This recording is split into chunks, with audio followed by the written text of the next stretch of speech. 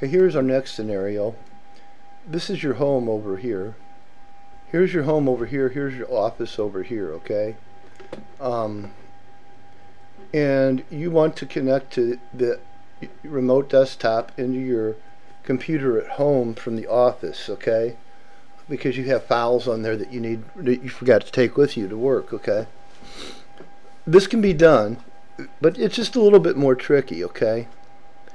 You're going to use the internet to connect to the ISP address just like we did before from one computer to the other, but we've got to go through the router now. Okay? So things are going to work just a little bit differently this time. Okay? We're going to come from the office into the router and into home using the ISP to connect, okay? The ISP number that we're going to need is the one from the home, and we've gone over that before. I've told you before that you could use IP chicken and put that in Google and it would give you the IP address. So to set this up, first we're going to start at our home and we're going to use IP chicken and find out the the internet uh, address given by our ISP to our home computer. Okay and that's the one that that's the number that we'll type in when we're at the office to connect to home. But of course the router is a firewall and it's got to be configured so that it will so that we can go from the internet to our office to our home okay?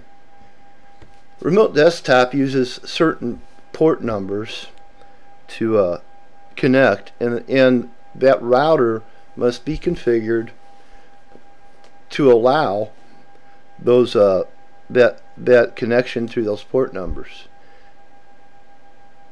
So you, what I'm going to show you next is how to configure your router with those port numbers to allow that connection to take place. It's called port forwarding.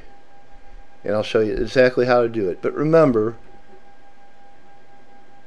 you're going to need the address of the ISP at home from IP Chicken to put into your remote desktop when you do connect from the office.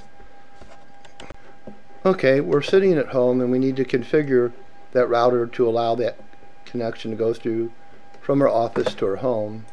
What we'll do is we'll, open up our web browser. Internet Explorer works fine. And in the address bar up here, we're going to type in http 192.168.1.1 which is the address of a router and we'll hit go. If we it should prompt you for a password. If you've never set it the default password to a Linksys router is admin. Depending on your router it's going to be different. I've already set a password for mine.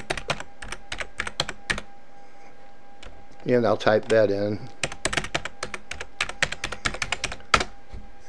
and here we are in the router's interface now okay? What we're going to do is we're going to need to go to the applications and gaming tab. This is pretty much the same on most routers. And here you'll see that I have port forwarding. That's the tab I don't want to be on this uh, on port triggering but on port forwarding okay? Okay I know that that one computer's uh, IP address at home on the LAN was 192.168.104 because I did that command prompt from the run menu. Remember I told you that? And that's how I know it's its address. And that's the one I want to connect to from the office. So I'm going to put 192.168.104 here in that IP address box. I'm going to use both TCP and UDP. I'm going to call this app, this RDP, or short for Remote Desktop Protocol. And I'm going to start it at port 3389 and end it at port 3389. And that should work fine. And when you're done, save the settings. Okay? And then your after the settings are saved, your uh, firewall is configured to allow remote desktop protocol uh, to be used so that now you can connect from the office to your home computer the computer that is 192.1 68.1.104 in your home. It's not that difficult. If you have problems with it, just play the video back real slow. And remember to look for port forwarding off applications and gaming. Different routers have different interfaces, but these are the things you're looking for We're in whatever interface. And it's that simple. And then when you do connect from the your office, you will type in the IP number that the ISP has given you. Say you're at the office now and you're wanting to connect to the one at, at home.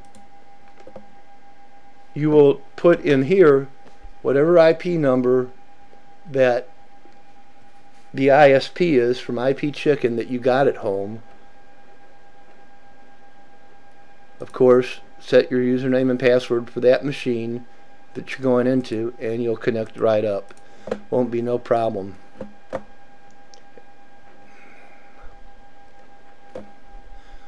In the next video I'm going to talk about a few other issues that you should know about with remote desktop protocol and talk about a few other options for remote administration and access.